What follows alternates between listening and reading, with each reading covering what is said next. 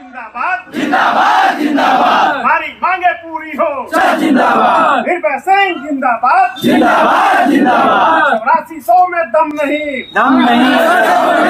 जिंदाबाद जिंदाबाद। पंचायत के साथी जिंदाबाद। जिंदाबाद जिंदाबाद। पंचायत के साथी जिंदाबाद। जिंदाबाद जिंदाबाद। निन्यानवे लड़ेंगे। जीतेंगे जीतेंगे। चौरासी सौ में दम नहीं।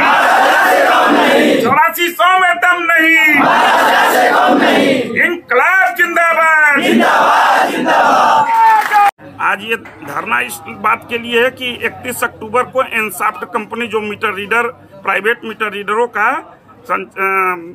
मीटर रीडिंग कराती थी, उसका कार्यकाल एग्रीमेंट समाप्त हो रहा है। और 31 अक्टूबर के बाद स्टर्लिंग पहली नवंबर से आ रही है कंपनी काम करने के लिए। तो उसमें पंद्रह पंद्रह हज़ार रुपए का डीडी लिया गया था। एनसाफ्ट कंपनी के द्वारा कर्मचारियों से कि हम जाते जाते आपको पंद्रह हज़ार का, जो है ड्राफ्ट वापस कर देंगे, जो अभी तक वापस नहीं किया गया है।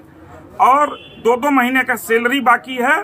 उसके लिए भी उत्तर प्रदेश के यशस्वी मुख्यमंत्री ने कहा है कि एक तारीख तक सबको वे- वेतन मिल जाएगा। अभी तक इनको वेतन नहीं मिला है।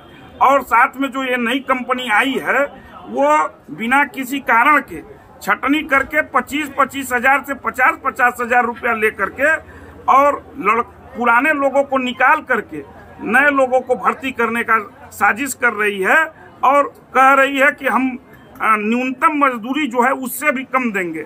हम मांग करते हैं कि पुराने लोग जो हैं, वही काम करेंगे और न्यूनतम मजदूरी से कम हम किसी भी कीमत पे मानेंगे नहीं। पूरे ज़िले का मीटर रीडर आंदोलित है।